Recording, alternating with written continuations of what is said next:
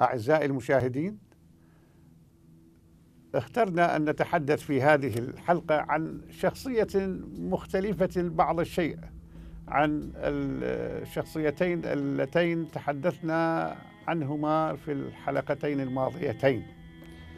اخترنا أن نتحدث عن رجل جمع بين مهنتين أو بين اختصاصين أو بين موهبتين في الأقل الطب والأدب.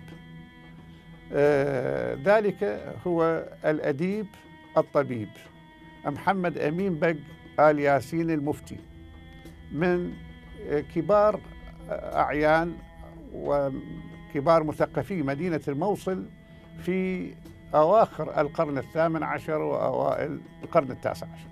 محمد أمين بق آل ياسين المفتي ربما كان من القلائل الذين جمعوا عن جدارة بين الطب والأدب.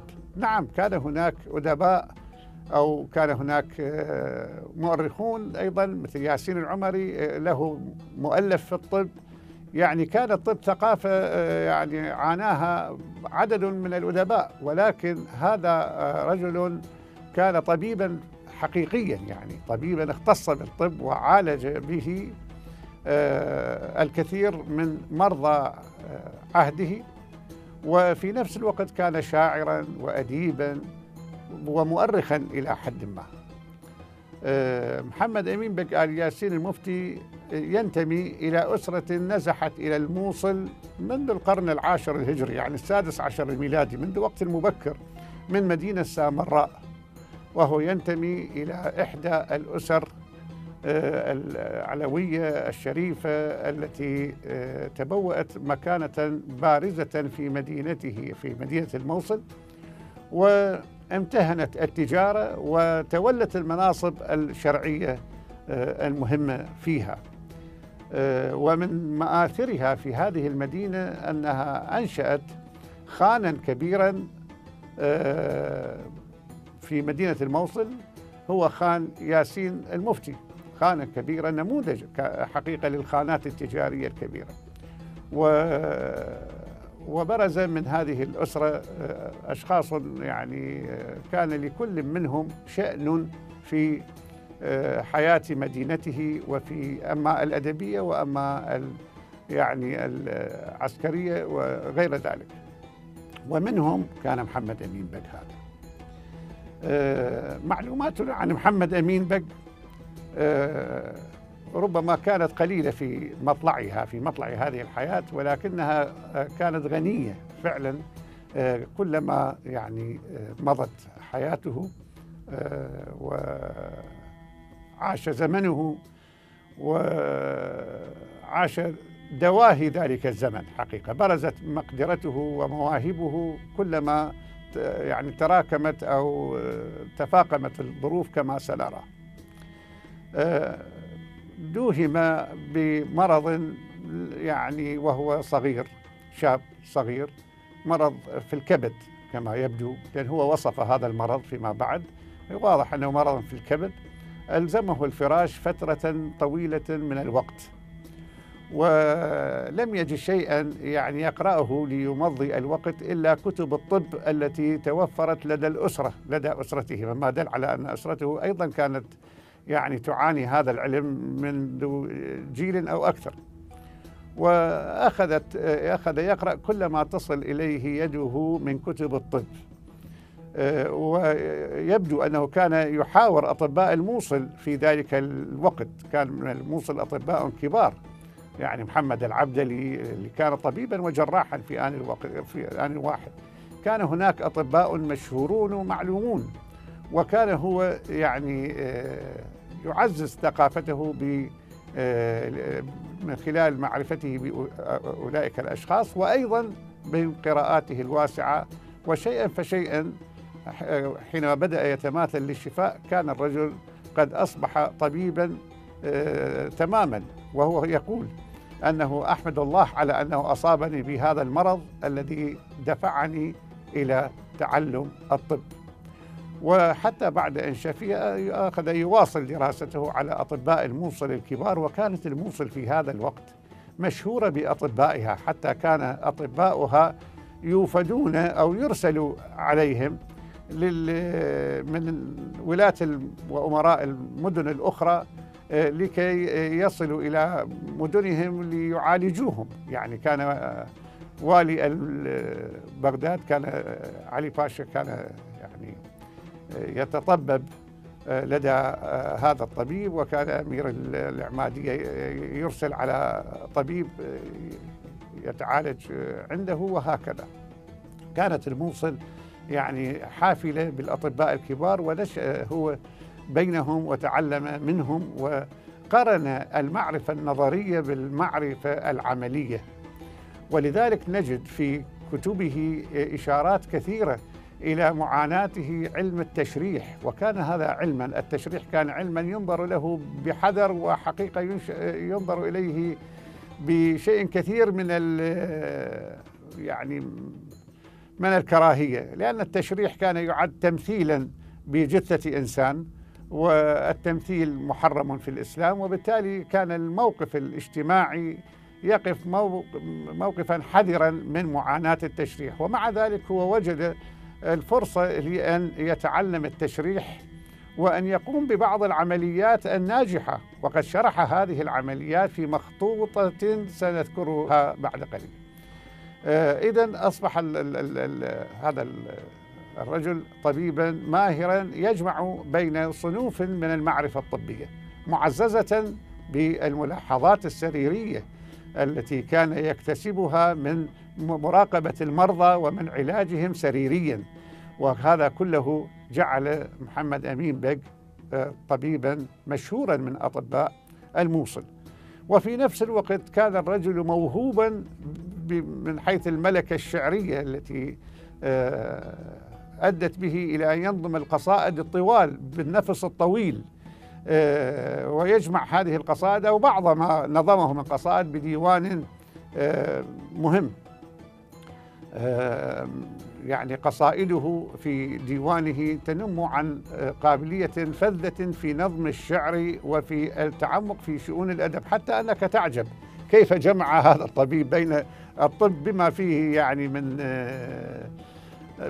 مما يحتاجه الطبيب إلى بعض القسوة في التعامل مع المرضى وأقصد القسوة يعني القدرة على التعامل مع الجروح ومع غير ذلك وبين رخافة الحس التي بدت في ديوانه.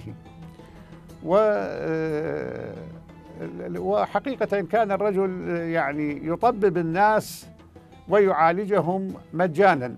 لم يكن يتقاضى فلسا واحدا مما كان يفعله. وحتى كان الفقراء يقصدونه في قصره كان له قصر في مدينة بلدة بعشيقة.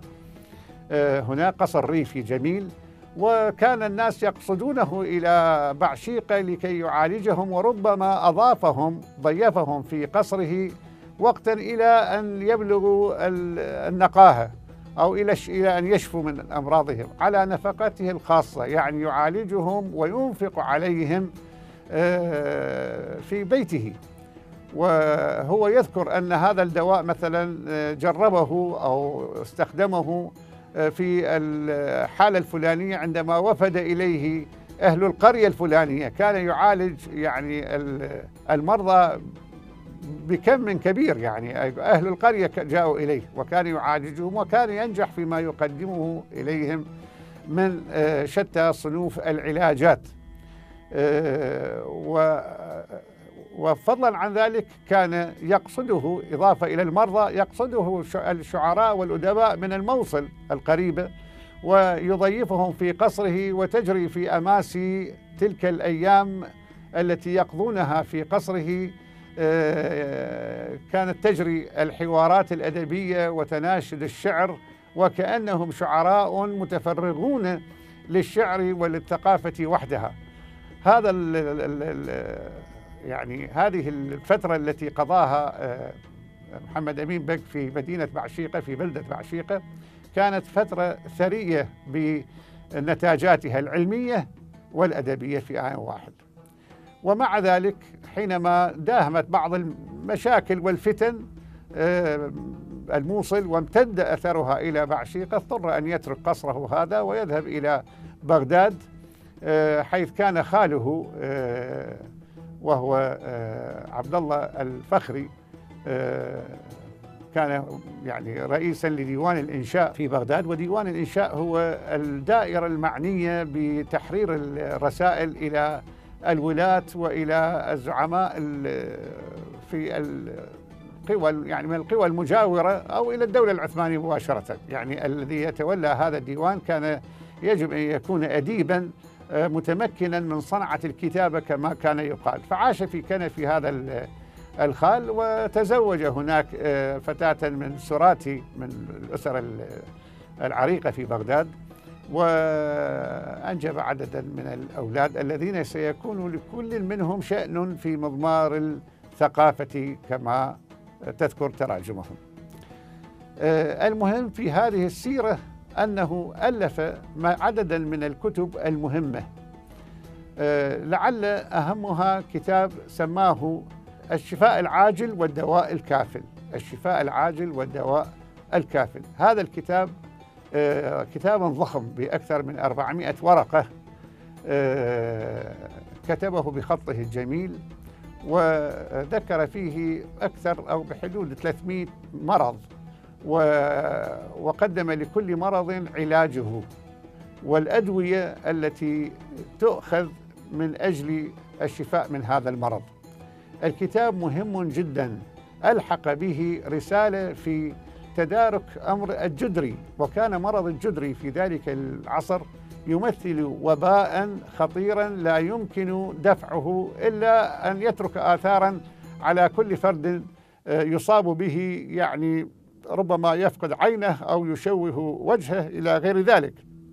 لم يكن ثمة لقاح آه، حتى أذاع طبيب آه، أظنه ألماني اسمه جنر اكتشافه للقاح الجدري. الغريب أن آه، محمد أمين بق آه، نشر أو كتب رسالة في العلاج من الجدري في هذا الوقت المبكر حتى قبل أن ينشر أو يذيع جنر اكتشافه الشهير فيما بعد عن مرض أو يعني مقاومة مرض الجدري.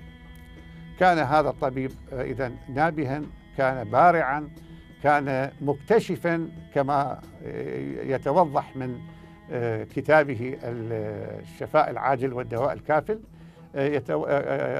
كان مبتكرا لعلاجات كثيرة مجربا فضلا عن قراءاته الواسعة في كتب الطب القديمة حتى تشعر أنه يحفظ هذه الكتب الطبية يحفظها على ظهر قلب. آه، فضلا عن دراسته النظرية للكتب الطبية كان آه، يعزز هذه المعرفة بالتجربة العملية بالتجربة العملية وهو يصرح بذلك أنه جرب هذا ولاحظ هذا وكان آه، يعني يدون ملاحظاته السريرية في كتابه هذا حتى جاء هذا الكتاب كنزا من الكنوز الطبية الذي لم يجد آه، فرصة له أن ينشر إلى حد اليوم.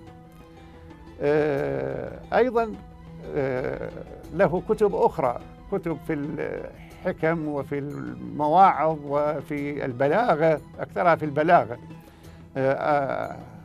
أحلاق الذهب وإلى غير ذلك وديوان شعر عظيم فيه قصائد بليغة كبيرة أكثرها في المدائح النبوية لم يكن يهتم بمدح الأشخاص الأحياء لأنه كان في غنى عنهم. الشعراء كانوا يمدحون الولاة وأرباب السلطان آه، يعني طلبا لما ينفحونه بهم من مال من مكافأة. أما هو فكان موسرا لم يكن في حاجة إلى هذا وبالتالي كان كثير من شعره آه، نظمه في مدح يعني الرسول الكريم عليه الصلاة والسلام ومدح الصالحين آه، من المتوفين. يعني لم يمدح الأحياء إلا في بعض قصائده ونشعر أن مدحه آه، لهم لم يكن طلبا لمال أو مكافأة وإنما تقديرا لمزاياهم أو لصداقة جمعت بينه وبينهم. آه، عاش يعني متعففا عن مديح وطلب المال عن هذا الطريق آه، مشغولا بالنظم وبالدراسة الطب وباستقبال ضيوفه في قصره في بعشيقة. وحقيقة ترك لنا آثارا مهمة آه، من المؤسف جدا أنها جميعها لم ينشر جميعها لم ينشر. يعني آه، من آثاره مثلا أنه نظم قصيدة في وصف حمام العليل الاصطياف في حمام العليل. هذه نشرت رسالة صغيرة نشرت نشرها الصديق الجليلي منذ عهد بعد. سجل في هذه القصيدة أنواع من مظاهر الحياة الشعبية وما سمي فيما بعد بالفولكلور الذي كان يجري في بلدة حمام عليل في أثناء موسم الاصطياف. كان يعني رجلا مرفها كما نشعر في كتاباته كان معتزا بتقاليد مدينته حتى أنه سجلها في أراجيز وفي قصائد له. ويبدو أنه كان مؤرخا أيضا مع أننا لا نعلم له كتابا في التاريخ لكنني وجدت له آه، هوامش وحواشي كثيرة على كتاب سبق أن حققته منذ عهد. آه، وهو ياسين العمري اسمه الآثار الجلية في الحوادث الأرضية. وجدت له وكان ياسين العمري قد أهدى هذا الكتاب إليه يعني إلى محمد أمين بك فعلق عليه محمد أمين بك بتعليقات كثيرة وافية دلت على مدى علمه وتعمقه بالتاريخ وبرصد حوادث يعني مدينته بدقة تحدث عن الأسعار المواد وعن الموازين وتحدث عن عن الحوادث السياسية والاقتصادية وغيرها. كان الرجل إذا يجمع يعني مجموعة من المواهب ومن الاختصاصات ونبه بها جميعا. حقيقة مما يعني يثير العجب ويثير يعني الإعجاب أيضا. تمكن محمد أمين بق إذا من أن يمثل آه، قدوة يعني لأبناء عصره ولشباب عصره لأن يحذو حذوة. فبرز من الموصليين من درس على يديه الطب ومن تأثر بشعره وبأدبه آه، منهم على سبيل المثال المؤرخ الموصلي الشهير محمد آه، أمين العمري. مؤرخ الموصل كان يذهب إلى قصره ويقضي معه الوقت الطويل في المسامرة وفي المحاورة وبالتأكيد كان معظم محاوراتهم آه، يعني موضوعها تاريخ الموصل وما كان يمر بها من أحداث. ربما يعني يحسن أن نشير أيضا هنا آه، إلى أنه تمتع رغم البحبوحة التي عاش بها آه، تمتع بخلق عال أشاد به مترجموه. يعني رغم ثرائه رغم كثرة من يقصده من المثقفين آه، رغم كل شيء كان الرجل متعففا وعلى مستوى عال من الخلق الرفيع متدينا آه، مواظبا على أداء فروضه آه، ولم يعني آه، يشجعه الجو الاجتماعي الذي عاش فيه الجو الاجتماعي الذي الأدب والأدب فيه الشعر والشعر فيه المقدمات الغزلية وغير ذلك لم يدفعه هذا إلى أن يخل بواجباته الدينية والروحية فكان متدينا وكان على مستوى أشاد به المؤرخون. آه، محمد أمين بق آل ياسين المفتي إذن كان نموذجا للمثقف العراقي للطبيب الذي الإنساني الذي كان يعالج المرضى ويضيفهم آه، على حسابه. والأديب الشاعر الذي جمعت بينه وبين مثقفي عصره ومثقفين ليس في مدينة الموصل وحدها وإنما في المدن الأخرى مراسلاته تكشف عن آه، أدبه وعن آه، رشاقة عبارته ومؤلفاته التي ما تزال مخطوطة كلها آه، ربما هي جديرة بالتحقيق والنشر وقد وقفنا على بعض هذه المخطوطات فوجدناها فعلا تستحق أن تكون موضوعا لرسالة جامعية أو إلى كتاب أو إلى دراسة تستوفي أهمية هذا الأثر. أعزائي المشاهدين لنا لقاء إن شاء الله في حلقة مقبلة مع علم آخر من علماء العراق والسلام عليكم ورحمة الله وبركاته.